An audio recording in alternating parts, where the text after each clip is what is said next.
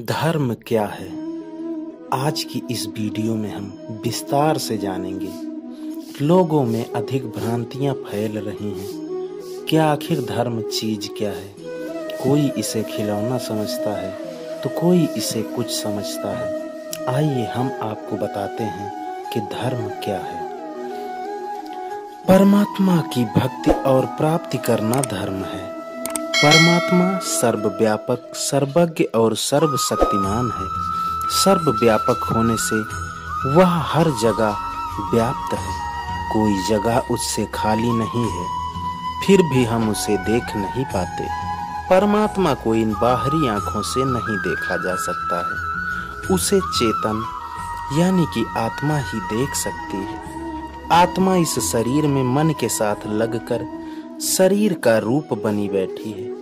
आत्मा मन के साथ लगकर इंद्रियों के द्वारा बाहर जाकर संसार में भटक रही है और इस तरह अपने अंदर रहते प्रभु को नहीं देख पाती है। यदि किसी तरह आत्मा का मन से छुटकारा हो जाए तो आत्मा अपने स्वभावानुसार अंतर्मुखी हो जाती है और ब्रह्मरंध्र में प्रभु के भिन्न भिन्न रूपों को देख सकती है। आत्मा अनेक जन्मों के संस्कारों से आवृत होकर मन के साथ लग भोगों में लगी पड़ी है। यह अधोगति को प्राप्त हो रही है। अपने आप उलट कर ये अंदर नहीं जा सकती। जब परमात्मा की अभिव्यक्त रूप धारा आत्मा को प्राप्त होती है तो आत्मा उलट कर अंदर जाती है। शरीर में नौ दरवाजे हैं। दो आँख, दो नाक, दो कान, मुँह और दो मलमूत्र विसर्जन द्वार। यह सब बाह्य जगत में खुलते हैं।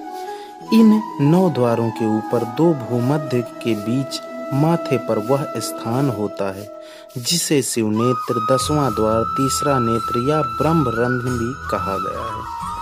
यह स्थान एक चौराहा है, जहाँ से आत्मा उलटकर अंदर जाती है।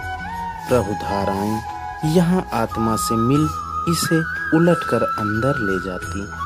अतः इस स्थान पर ध्यान लगाकर आत्मा को ऊर्ध गति देने के साथ ही धर्म की शुरुआत होती है।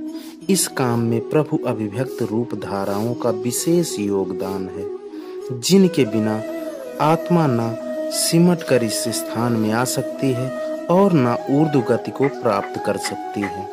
परमात्मा के तैतीस अभिव्यक्त रूप हैं। बारह प्रकाश रूप, ग्यारह नाद रूप, आठ सोम रूप, संत प्रजापति और एक इंद्र परमात्मा इनमें से कोई भी रूप जब आत्मा को प्राप्त होता है, तब वह इसे उलटकर अंदर लाता है। संत के अंदर ग्यारह रूप समाये रहते हैं। संत देह रूप में उपदेश कर इन किन्हीं धाराओं का प्रत्यक्ष आत्मा को अंतर्मुखी बनाता है। बिना अंतर्मुखी धारा प्राप्त किए धर्म की समझ नहीं आती। धर्म अंतर अभिव्यक्त प्रभु धाराओं पर आधारित है। जब जीव के पाप कर्म समाप्त प्राय होकर पुण्य कर्मों का उदय होता है, तब प्रभु अभिव्यक्त धाराओं का सत्य मार्ग मिलता है। रामचरितमानस में कहा है, अब मोहिभा भरोस हनुमंता, बिन हरि कृपा मिले नहीं संता। इसी तरह आदि ग्रंथ में कहा है, कर्म हो सतगुरु मिलाए, ईसाई धर्म में ऐसे लोगों को स्टैम्पेड कहा है। अतः ऐसे जीव ही संत से मिल प्रभु प्राप्ति का मार्ग अपनाते हैं। प्रभु अभिव्यक्त धाराएँ आवरण नष्ट कर आत्मा को ऊपर ले जाती हैं। प्रभु ज्ञान धाराएँ देकर प्रभु रूप बनाती हैं। क्योंकि ये प्रभु धाराएँ प्रभु से प्रकट हैं। अतः प्रभु के समान ही सर्वज्ञ चेतन आनंद रूप है। इसके द्वारा दिया गया ज्ञान पूर्ण ज्ञान होता है। अतः धर्म सदा से ईश्वरीय ज्ञान धाराओं द्वारा दिया गया पूर्ण ज्ञान है। कुछ लोगों का विचार है कि धर्म बुद्धि के विकास पर निर्भर करता है और वह लोग सोचते हैं कि जैसे जैसे मनुष्य उन्नति करता है, वैसे वैसे नया विकसित धर्म प्रकट होता है।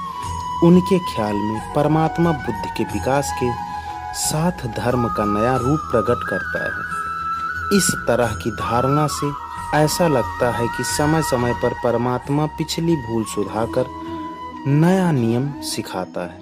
इस तरह की बात कहने वाले भूल जाते हैं कि परमात्मा पूर्ण और सर्वशक्तिमान है। वह समय और स्थान की पारिध से बाहर है। भूत वर्तमान भविष्य की सब कुछ जानता है। उसे भूल होना संभव नहीं है। अतः धर्म विकासवाद से सिद्धांत पर नहीं, बल्कि अंतर अभिव्यक्त प्रभु ज्ञान पर आधारित है। धर्म ईश्वरीय ज्ञान धारा पर आधारित है। अतः सत्य और सनातन है। इसमें मनुष्य की बुद्धि का दखल नहीं है, बल्कि ब्रह्म ज्ञान आधारित है। वेद में धर्म को सनातन कहा है।